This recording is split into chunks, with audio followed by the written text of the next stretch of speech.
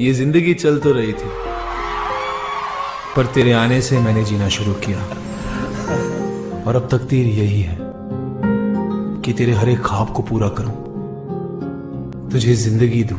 क्योंकि तुम ही हो, अब तुम ही हो, मेरी आशिकी, अब तुम